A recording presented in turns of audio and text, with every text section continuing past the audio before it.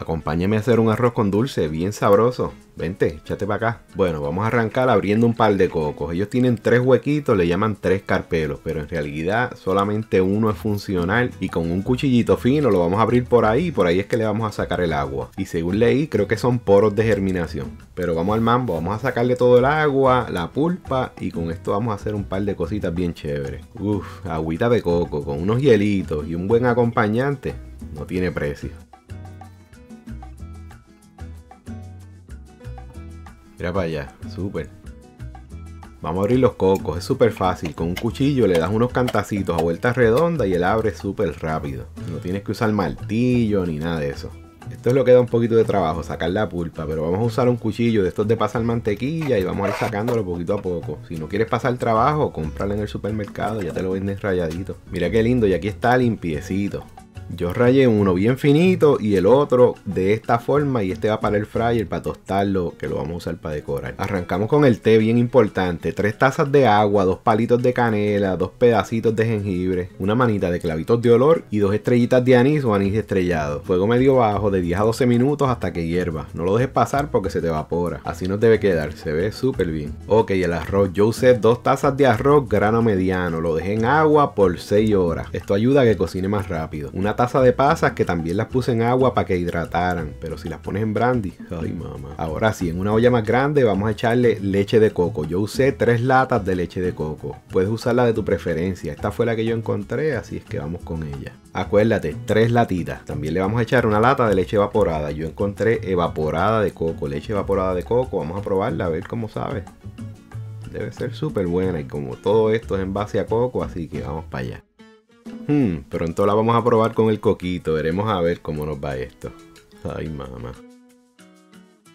Ahora le vamos a tirar el té, acuérdate, tienes que colarlo, se lo vamos a tirar completito y esto es lo que le va a dar ese colorcito bien chévere. Y si eres de las personas que le gusta el arroz con dulce bien oscurito, a ese té tienes que tirarle mucha más especia de las que yo le eché. Y tal vez un poquito de canela en polvo le va súper bien. Ok, el arroz ya lo escurrimos completito, acuérdate, son dos tazas, se las vamos a tirar completito. Arroz grano mediano, dos tazas de arroz. Mi gente, y esto es sin prisa, vamos a cocinar ese arroz hasta que quede bien blandito, a fuego medio bajo, para que no se nos pegue siempre pendiente que no se nos pegue en la parte de abajo. Un toquecito de sal, yo usé como media cucharadita para que realce todos esos sabores ahí bien chévere. Acuérdate, siempre bien pendiente que no se nos pegue en la parte de abajo y vamos a seguir cocinando hasta que todo ese líquido se evapore completito. Y después que se evapore es que le vamos a tirar el azúcar, las pasas y lo demás. Y acuérdate, sin prisa y a fuego medio bajo. Él va a ir evaporando poco a poco. Ya tú ves cómo está aquí. Va evaporando poquito a poco. Ya a este punto le queda muy poco líquido. Puedes bajarle el fuego al mínimo. Y entonces me empiezas a jugar con el gusto si lo quieres más espesito o más aguadito. Y para darle un poquito de color y más sabor, vamos a tirarle y espolvorearle un poquito de canela en polvo. Mezclamos esto bien chévere. Y si te gusta bien oscurito, puedes tirarle un poquito más de lo que yo le tiré. Pero no tanta para que no te sepa tanto a canela. También debes tener por ahí extra una latita más de leche de coco por si acaso está muy espeso para que puedas jugar y que te quede un poquito más aguadito, ¿verdad? Dependiendo del gusto de cada persona. Para mi gusto, así está súper. Y vamos con el azúcar. Yo le voy a echar media taza de azúcar morena y tres cuartos de taza de azúcar blanca una cucharada de extracto de vainilla y vamos a mezclar esto que quede bien chévere, bien integradito. Yo sé que hay muchas personas que les gusta el arroz con dulce que quede bien oscurito y si te gusta así bien oscurito, en vez de echarle azúcar blanca, tírale azúcar morena. Toda el azúcar que uses, tírasela de azúcar morena. A mí en lo personal no me gusta que quede tan oscuro, me gusta que quede más clarito, así que por eso usé media taza de azúcar morena y una taza de azúcar blanca que solamente le eché primero tres cuartos de taza y el otro se lo voy a tirar más adelante de acuerdo a cómo esté el sabor y que no me quede muy melado, muy dulce.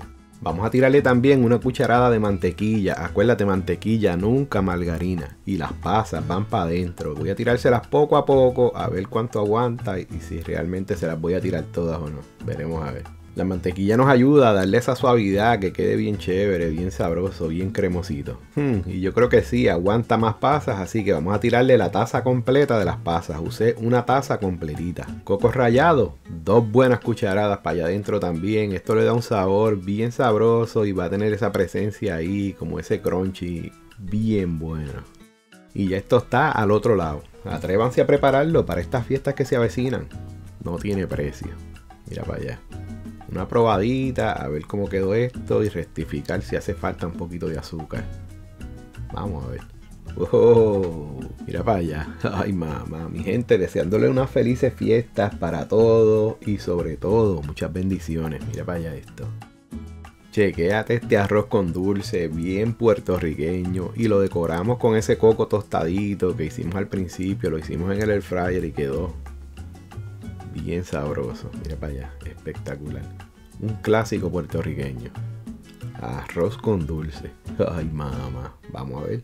Para luego es tarde, así que vamos a probar esto. Déjame saber cómo te gusta, si te gusta frío o calientito. Este todavía está tibiecito. Mira esto. Oh, se ve súper bien.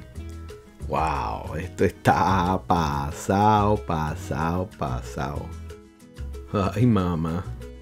Si te gustó la receta, comparte y coméntala. Suscríbete a mi canal si no lo has hecho para que te lleguen todos los videos que compartimos cada semana. Buen provecho, familia. Nos vemos en la próxima.